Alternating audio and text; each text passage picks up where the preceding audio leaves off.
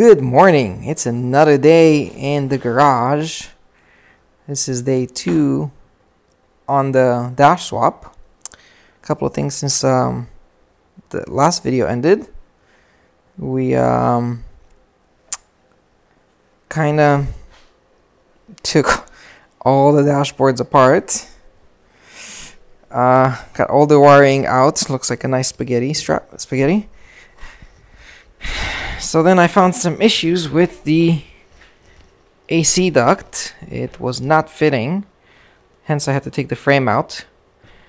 And then I had to go through some persuasive uh,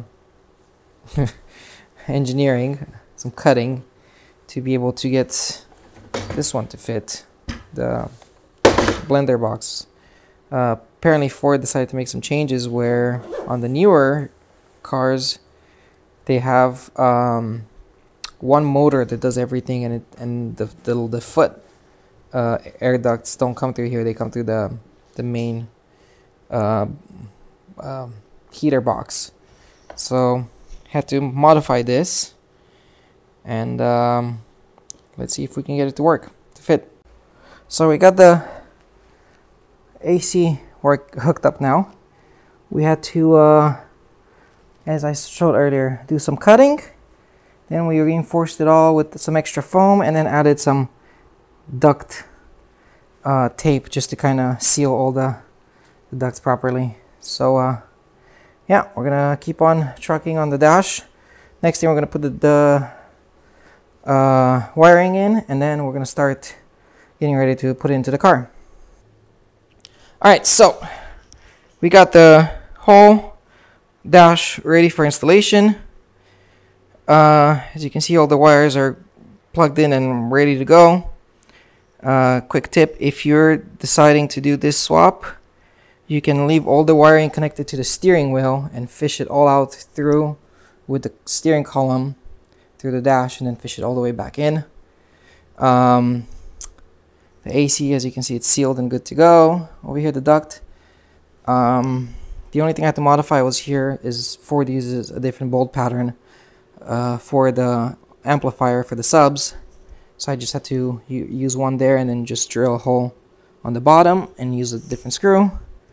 Um, and then the OBD port, as you can see, it's got it just slides over on the older style versus the new one looks like Ford just like screws it in. so uh, yeah, now we're gonna get the dash in.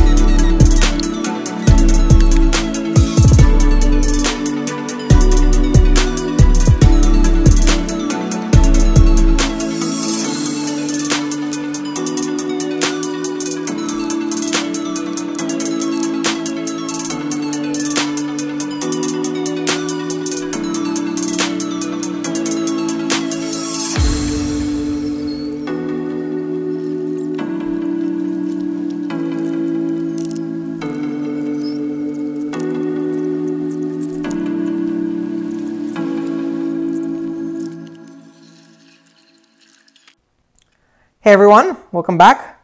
So after a lot of um, wiring and cleaning up wiring and redoing plugs and yada yada yada, I finally got the whole dash installed. So here it is. Let me see, let me go around. My garage is an absolute disaster. I gotta clean up all the leftover parts and plugs and all this other crap. But here's a preview of um, or here's a look at the, the, the dashboard. Once again, sorry for the garage mess. Um, all right, so the only thing I have left to do is to rewire the exhaust cutouts since I want to use them with the set of the, the dash buttons. But here you go. Let's take a peek. All right. So, stereo, center console.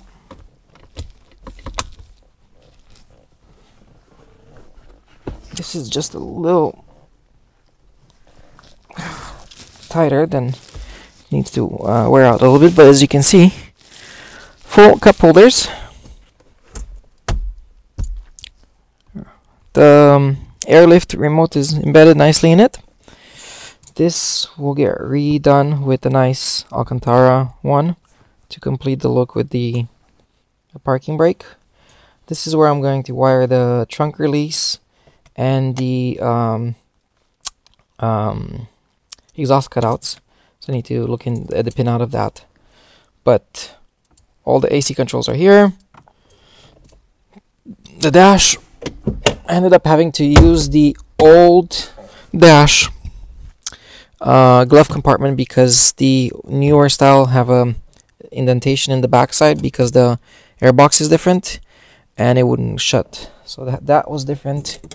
Um, sorry for the mess once again. There's still a lot of crap that I need to clean up. But let's see. Um, Gauges are the my Celine ones that I've had before. They work just fine. Um, I ended up not using the Ranger switch and I ended up using the 2014 switch. I ended up finding the, um, the wiring diagram of the switch uh, and did the pinout and everything and turned out I, I could do all the wiring and use this one. I kind of didn't want to have the, the automatic light logo here to be more like an 06 but you know, just me being anal. Uh, I ended up using the um, dimmer from the old 06 dash instead of the the new dimmer because that's a different uh, set of wires. Um, I had to redo all of the stuff in here the wiring. All right let's see. Headlights on. As you can see looks like it um, came with the car. So once again that's the 06 or 0609 gauges or gauge cluster. Um, I had to just modify just a little bit so it would fit in here. Alright headlights go on. And then if I go into auto headlights stay on. So auto is pretty much just like the headlights being on. And then fogs get pulled in here All right. And then the best part, push the start button.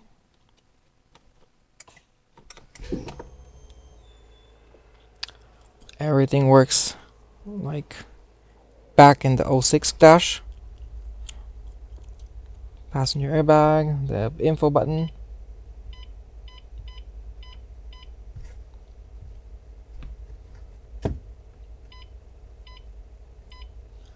My gauge works, everything else in here. And the remote works stereo. So there you have it. Full dash swap. Thank you for uh, watching the video and uh, subscribe. I have some more other some more projects coming down the pipeline. See you later.